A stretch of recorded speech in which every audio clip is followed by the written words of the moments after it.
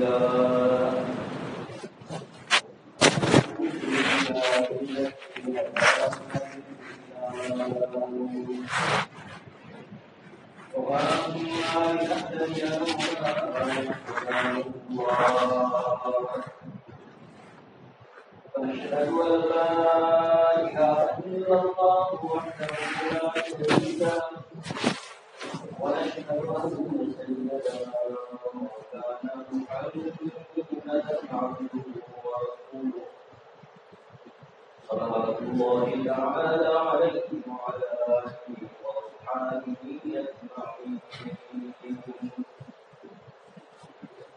أما بعد فأعوذ بالله السميع العليم من الشيطان الرجيم. من همزه ونفخه. واتقوا فتنة لا تصيبن الذين ظلموا منكم خاصة. واعلموا أن الله شديد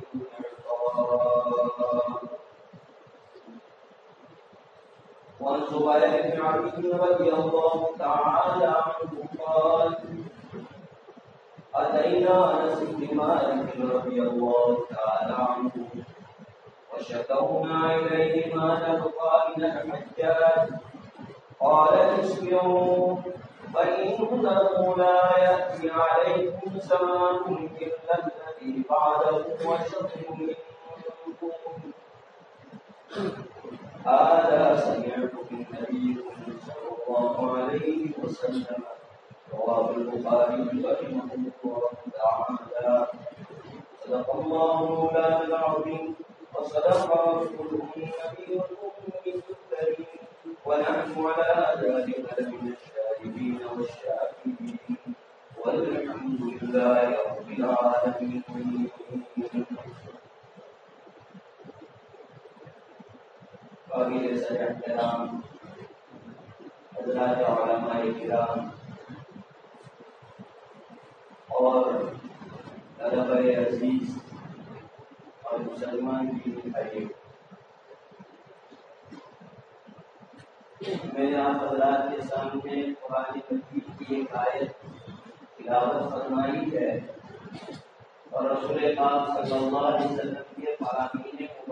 میں سے فرمان پیش کیا ہے ان دونوں چیزوں کو امام بخاری رحمۃ اللہ علیہ نے اپنی بخاری شریف کی کتاب الفتن کے شروع میں ذکر فرمایا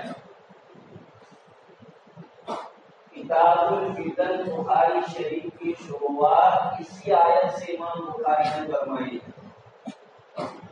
ہمارے حدیث کے طلبا جانتے ہیں حدیث کے جو سبجیکٹ ہے، وہاں چیزوں میں منحصر ہوتے ہیں۔ کی بڑی کتابوں میں تقریباً کتاب الفتن کے عنوان سے مستقل چیپٹر ہے۔ اور محدثین نے اس میں الگ الگ کتابیں بھی لکھی ہیں۔ جیسے الزاع ہے اور اسی طرح نواب صدیق حسن کا مباری کی کتاب ہے، نئی ابن حماد کی کتاب ہے۔ اور بھی بہت سے مفسرین نے مستقل کتاب الفتن کے اوپر کتابوں کو لکھا ہے۔ خصوصاً ہمارے مشہور مفسر حافظ تصیر رحمہ اللہ نے البدایہ و نہایہ دس فلموں میں اس میں تو تاریخ عالم ہے، لیکن آخر کی جو دو جلدیں ہیں، تو ان آخر کی دو جلدوں کے اندر کتاب الفتن اور ملاحم اور علامات قیامت سے تعلق رکھنے والے مضامین کو حضرت نے بیان فرمائے۔ بزرگان محترم میں نے یہ موضوع اس لیے اختیار کیا ہے کہ آپ حضرات جانتے ہیں، آج یہ زبان زد ہے۔ کہ فتنوں کا زمانہ ہے۔ ہم فتنوں کے زمانے سے گزر رہے ہیں۔ فتنوں کا سیلاب ہے۔ جو امن امن کرا رہا ہے۔ اور ہمارے حوصلوں کو مست کر رہا ہے۔ حضرت نبی اکرم صلی اللہ علیہ وسلم نے جہاں امت کو عبادات کی تعلیم دی ہے، معاملات اور معاشرت کی تعلیم دی ہے، عقائد کی تعلیم دی ہے، اخلاقیات کی تعلیم دی ہے وہی جناب رسول پاک صلی اللہ علیہ وسلم نے اپنی امت کو آنے والے فتنوں سے آگاہ فرمایا ہے۔ عزیزوں اور بھائیوں، فتنوں، فتنے دو طرح کے ہوتے ہیں۔ ایک فتنے وہ ہیں جس میں آدمی کا اپنا کچھ کنٹرول اختیار ہے؟ اور ایک فتنے وہ ہیں جس میں آدمی کا کوئی کنٹرول نہیں۔ غیر اختیاری ہے جیسے خروج رجال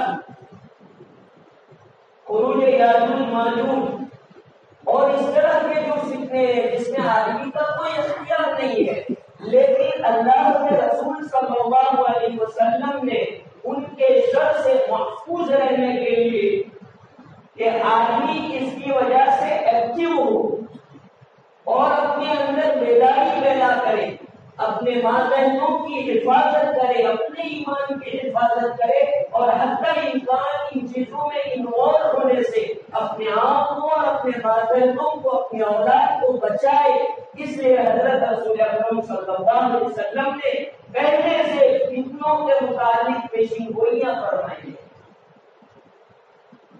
آقائے نامدار تاجدار مدینہ حضرت محمد صلی اللہ علیہ وسلم نے فرمایا کہ فتنے ایسے واقع ہوں گے اپنے نئے موزن اندھیری رات کی طرف سے کچھ نظر نہیں آتا ہے۔ آدمی حیران و پریشان ہو جاتا ہے۔ ایسے بعض فتنے امت کے آئیں گے۔ کہ آدمی اس میں حیران ہو جائے گا کہ کیا بولے، کیا کہے؟ کون حق پر، کون نہ حق پر؟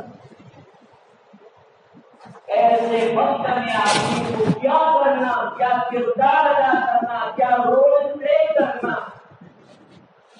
اس کے لیے رسول اکرم صلی اللہ علیہ وسلم نے احادیث مبارکہ بیان فرمائی۔ ابو داؤد شریف کا کتاب ذکر شروع ہوتا ہے۔ تو حضرت حذیفہ رضی اللہ عنہ کی روایت ذکر فرمائی ہے کہ حضرت حذیفہ جو رسول اکرم صلی اللہ علیہ وسلم کے رازدار صحابی تھے۔ اللہ کے رسول صلی اللہ علیہ وسلم نے ان کو قیامت تک آنے والے فتنوں کے رضی اللہ عنہ کے پاس آئے۔ تو حذیفہ ایک کا پاس۔ جو نے جو فتنے کے متعلق آپ کو بتایا ہے، کوئی بہت اس پر روشنی ڈالی تو حضرت حذیفہ رضی اللہ تعالیٰ نے فرمایا کہ حضرت آدمی کی اپنی ذات میں، اس کے مال میں، اس کے اولاد میں، اس کے گھر میں، اس کے نیبر میں، اس کے جاب میں، اس کے اور اسی طرح اس کی نوکری میں اور اس کی تجارت میں جو کچھ فتنے آتے ہیں، وہ آدمی نماز پڑھتا ہے، زکات دیتا ہے، صدقہ دیتا ہے، تو اس کا کفارہ ہو جاتا ہے۔ حضرت عمر رضی اللہ عنہ فرمایا، نہیں نہیں، میں اس کو نہیں پوچھتا۔ میں یہ نہیں پوچھتا، میں پوچھتا ہوں کاموں کموں کے باہر، وہ فتنے جو سمندر کی لہروں کی طرح سے اٹھ کر جا رہے ہوں گے، جیسے سمندر کی لہر آتی ہے، اس کے بعد اور ایک لہر آتی ہے، اس کے بعد اور ایک لہر آتی ہے۔ میں اس فتنوں کے متعلق پوچھنا چاہتا۔ ہوں حضرت حضیفہ رضی اللہ عنہ فرمایا، حضرت دروازہ کلوز ہے۔ دروازہ بند تھا۔ اس بند دروازے کو توڑ دیا گیا۔ حضرت عمر رضی اللہ تعالیٰ نے سر ہلایا اور اٹھ کر کے چلے گئے۔ شاگردوں نے پوچھا کہ حضرت آپ سے پوچھا نہیں کہ وہ کتنے کون سے چلے گئے۔ حضرت عمر رضی اللہ تعالیٰ نے فرمایا حضرت حذیفہ رضی اللہ تعالیٰ نے فرمایا کہ حضرت سمجھ گئے ہیں۔ کہ یہ جو بند دروازہ یہ خود حضرت عمر ہے، اور دروازے کو توڑ دیا گیا ہے، حضرت عمر کو شہید کر دیا جائے گا۔ اس کے بعد سے امتوں پر فتنوں کی بوچھار ہو جائے گی۔ آپ تاریخ کا مطالعہ کر لیجیے، اسلامی تاریخ کو پڑھ لیجیے خلفاء راشدین کی تاریخ کو پڑھ لیجیے۔ جناب رسول جناب حضرت عمر رضی اللہ تعالیٰ کی شہادت کے بعد جو امت کے اندر فتنے شروع ہوئے ہیں تو ابھی تک ہم نے کا نام نہیں لے رہے ہیں۔ اور حضرت یہ صبح بن علی کی روایت کے مطابق یہ ہے کہ یہ فتنے قیامت تک رہیں گے۔ میں جو روایت آپ کے سامنے خطبے میں پڑھی، اس میں حضرت صبح بن علی رضی اللہ عنہ کی روایت امام بخاری رحمت اللہ علیہ نے ذکر فرمائی۔ فرماتے ہیں کہ ہم لوگ حضرت انس بن مالک رضی اللہ تعالیٰ کے پاس پہنچے۔ اور جا کے کہا کہ حضرت آپ کو جانتے ہیں، حجاج کیسا ظلم کر رہا ہے؟ سارے پڑھے لکھے حضرات جانتے ہیں، اسلامی تعلیم میں شاید اس سے زیادہ بدنا میں زمانہ اور اس سے زیادہ سپا کیونکہ خود اللہ کے رسول نے فرمایا تھا کہ اس قبیلے میں دو ایسے پیدا ایک قذاب اور ایک سپا پیدا ہوگا۔ ایک جھوٹی حکومت کا دعوے دار اور ایک غلط خون بہانے والا۔ آپ کو تو معلوم ہے کہ حجاج کیسا ظلم کر رہا ہے۔ تو حضرت انس بن مالک رضی اللہ تعالیٰ نے فرمایا، بول سے سنیے گا۔ حضرت انس بن مالک رضی اللہ تعالیٰ نے زبیر بن عدی اور ان کے ساتھیوں کو کہہ رہے اسپرو اسپرو فَإِنَّهُ لَا يَأْتِي عَلَيْكُمْ زَمَانُ إِلَّا بَعْدَهُ أَشَرٌ مِّنْكُمْ حَتَّى تَلْقَوْا رَبَّكُمْ هَذَا سَمِعْتُ مِنْ نَبِيِّكُمْ صَلَّى اللَّهُ عَلَيْهِ وَسَلَّمَ. یہ حضرت انس بن مالک رضی اللہ تعالیٰ نے فرمایا کہ صبر کا دامن تھامے رہو. کیونکہ جو جو زمانہ چلے گا فتنے ایک سے اوپر ایک ایک سے اوپر ایک. آدمی اپنے زمانے کے فتنے کو بڑا سمجھتا تھا، لیکن اس کے بعد کوئی اور فتنہ رونما ہوا، تو سمجھتا ہے کہ وہ چھوٹا تھا، یہ بڑا ہے۔ حضرت انس نے فرمایا کہ میں اپنی طرف سے نہیں کہہ رہا ہوں سمیعت من صلی اللہ علیہ وسلم یہ میرے نے براہ راست جناب نبی اکرم صلی اللہ علیہ وسلم سے سنا ہے تو میں تمہیں سنا رہا ہوں جی ہاں میرے بھائیوں بزرگوں زمانہ اس سے بھی بدتر آنے والا ہے حالات اس سے بھی بدتر ہونے والے ہیں حالات کی شکایت نہ کیجیے حالات میں ایک مسلم کا کردار کیا ہونا چاہیے؟ ایک مسلمان کو کس کانٹیکٹ میں سچویشن کے اندر اپنی لائف کو گزارنا چاہیے؟ یہ ہمیں پیغام ملتا ہے اس حدیث شریف سے۔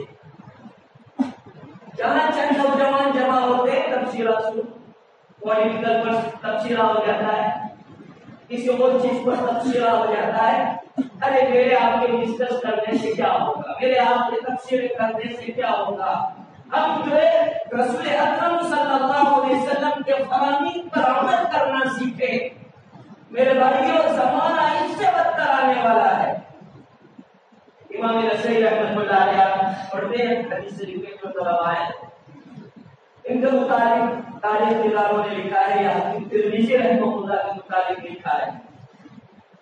ایک مرتبہ بیٹھے ہوئے تھے تو ان کے دل میں خیال آیا کہ میری جوانی کے زمانے میں ایک عورت نے مجھے بدکاری کے لیے دعوت دی۔ اس عورت نے مجھے پھنسا دیا تھا کہ تم میرے ساتھ بدکاری کرو۔ تو اس وقت جوان تھے، روحانیت سب کچھ اسٹرانگ تھی۔ تو کسی طرح سے انہوں نے اپنے آپ کو اس عورت کے جنگل سے چھڑا لیا۔ بس بے اللہ بچا دیا اور جو آدمی گناہ سے بچا بچنا چاہتا ہے، انشاءاللہ اللہ کا ہنڈریڈ پرسینٹ اس کو گناہ سے بچا لے گا۔ ضرورت ہے نوجوان بھائیوں، اس کی نیت کرو کہ ہم اپنے کردار کو داغدار ہونے نہیں دیں گے۔ نوجوان بیٹیوں سے کہنا چاہیے کہ کوئی تمہاری عصمت سے کھلواڑ نہ کرے۔ کوئی ہماری اولاد کی کیا حفاظت کرے گا؟ اور کوئی کیا کہے گا ناری سلمان؟ ارے میرے بھائیوں ناری سلمان کا جو ہے نعرہ لگا دینے سے ناری سلمان نہیں ہو جاتا اسٹیجوں پر ناری سلمان کا آواز لگا دینا، ایک نعرہ بلند کر دینا اور کم بکوں کی تالیوں کو بجا لینا یہ کوئی بڑی بات نہیں ہے۔ اب عملی طور پر ناری سلمان کر کے دکھاؤ۔ ہندوستان کے اندر، انڈیا کے اندر بائیس لاکھ قوالی ہوتے ہیں جو اپنے جسم کا سودا کر رہی ہے۔ آدم کو بھیڑیے اپنی ہوش کے ساتھ ان لوگ پر ٹوٹ پڑتے ہیں۔ اگر ناری سلمان کرنے کا اتنا ہی شوق ہے مان ہو جائے تو آپ اس کے لیے کوئی عمل بنائیے، کوئی قانون پاس کیجیے، تاکہ بیچارے مجبور اور اپنی باڈی کا سودا کرنے پر مجبور نہ ہو ناری سلمان ناری سلمان، کیا بل پاس کر لینے سے ملی بھگت پارٹیوں کی جو ایک اس سے بل پاس ہو گیا تو ناری سلمان ہو گیا۔ اگر ناری سلمان کرنا ہے تو ٹرینوں میں سفر کیجیے پچھاڑی نوجوان عورتیں اپنا پیٹ پالنے کے لیے، اپنے بچوں کا پیٹ پالنے کے لیے۔ سارے مردوں کی بھیڑ کے اندر سر کے اوپر ٹوکرا اٹھا کر کے جا رہی ہے۔ یہ ہے ناری سلمان۔ انہیں کوئی اچھا جاب کیجیے ناری سلمان کرنا چاہتے ہیں۔ بزرگوں بھائیوں حالات اس سے بدتر آنے والے گھبرائیے نہیں۔ ایک مومن ہمیشہ آخرت کے کانٹیکس میں حالات کو دیکھتا ہے۔ آخرت کے کانٹیکس میں آپ حالات کا جائزہ لیجیے حالات میرے اور آپ کے امتحان کے لیے ہے یہ اللہ کا ایک پروسیس ہے۔ جس سے ہر مومن کو گزرنا ہوگا۔ جی آپ دارڈوں میں داخلہ لینے کے لیے آتے ہیں۔ ایڈمیشن کے لیے آپ آتے انتظامیہ آپ کو پروسیس سے گزارتا ہے۔ امتحان۔ جس درجے کا اس درجے کا امتحان۔ اللہ پاک ہمارے شیخ الحدیث صاحب کی خدمت کو قبول فرمائے۔ حضرت مفتی محمد آسودی صاحب کا برکات حکم العالیہ۔ ہم درجے اتنا میں پڑھتے تھے۔ حضرت کے پاس امتحان کا موقع آتا تھا طلبا پہلے دن سے دعائیں مانگتے تھے سلام الحاجت پڑھتے تھے، درود شریف پڑھتے تھے، کیونکہ وہ درجہ ایسا ہے اس کا امتحان ایسا ہے۔ حالانکہ حضرت اتنا مشکل کچھ نہیں پوچھتے، لیکن بہن کا امتحان لیتے ہیں کہ اس کی بہن کتنی ہے۔ ہم لوگ اکثر قواعد الفقیہ حضرت کے پاس پڑھتے تھے۔ تو کہتے تھے کہ میں تم کو اس وقت سمجھوں کہ تم نے قواعد الفقیہ اچھی طرح پڑھی جبکہ تم ہدایت سے اس کی تین تین مثالیں لا کے مجھے بتاؤ۔ سراجی پڑھتے تھے تو سراجی میں کہتے تھے، ایک ایک حالات کی پانچ پانچ مثالیں لاؤ تو میں سمجھوں کہ تم نے سراجی سمجھ صرف سر مثالیں کہتے نہیں سمجھوں گا کہ تم نے مجھ سے سراج اور ہمارے الفقیہ سمجھ تو میں یہ کہنا چاہتا ہوں کہ امتحانات تو ایک پروسیس ہے۔ اللہ کا ایک نظام ہے، سنت اللہ ہے، جو میں قیامت جاری رہنے والا ہے۔ بزرگان محترم، اللہ کے امتحان سے نہ گھبرائیے، ثابت قدم رہیے۔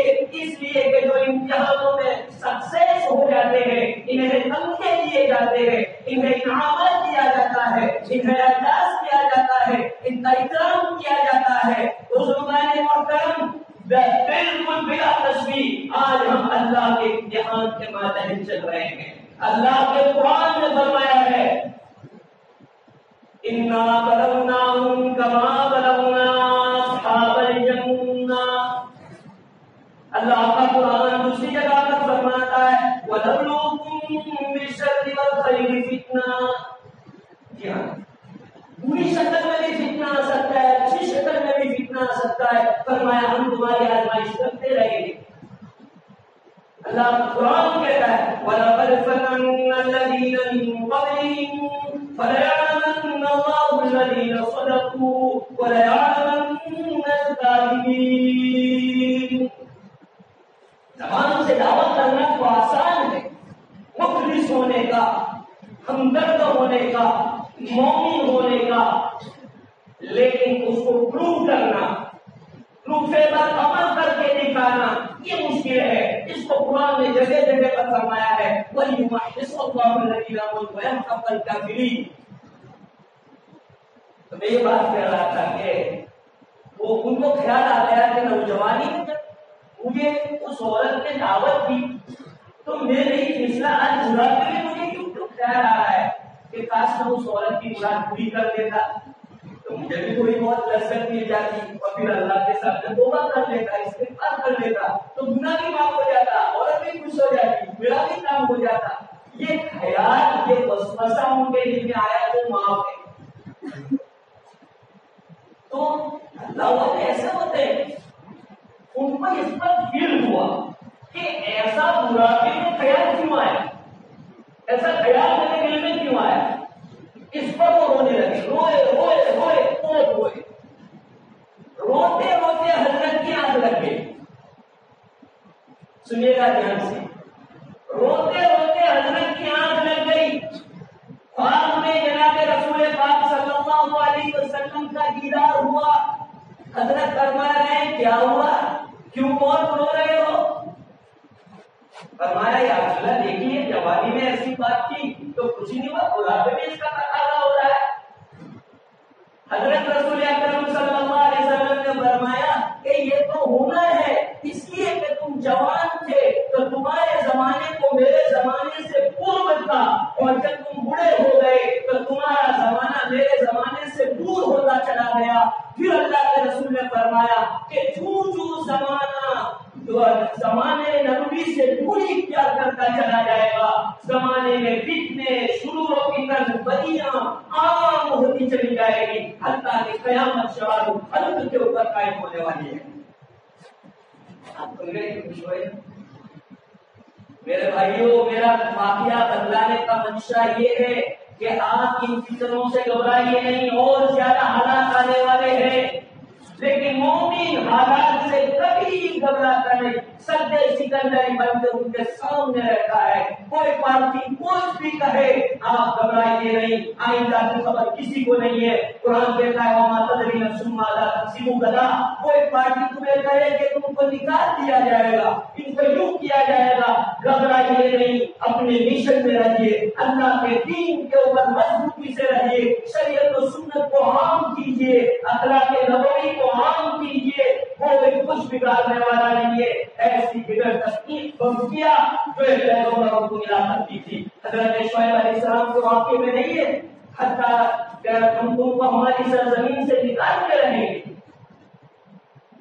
میرے بھائیوں ہاں ہمارے اندر بیداری ہونی چاہیے۔ ایکٹیو بنا ہمارے اندر ہونا چاہیے۔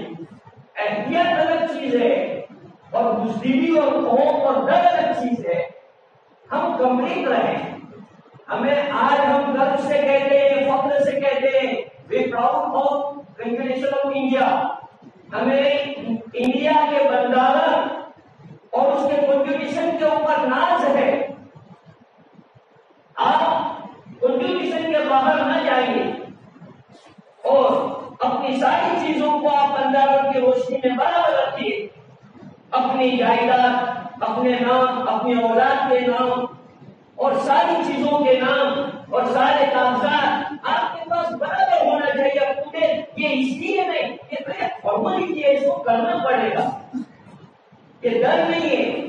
آپ اس کو ڈر پر معمول نہ کیجیے میرے بھائیوں اگر کوئی یوں سمجھتا ہے کہ حالات ایسے کے ایسے رہنے والے ہیں، تو میں یہ کہتا ہوں کہ وہ ناستک ہے، وہ لہریہ ہے، وہ اللہ کے رسول کی حدیثوں کا منکر ہے۔ رسول اکرم صلی اللہ علیہ وسلم نے حدیث میں فرمایا ہے کہ افضل عبادت بہترین عبادت اس جی کا انتظار ہے حالات کے مواد ہونے کا انتظار ہے۔ اللہ کے رسول صلی اللہ علیہ وسلم کے زبانوں سے نکلے ہوئے الفاظ غلط نہیں ہو سکتے۔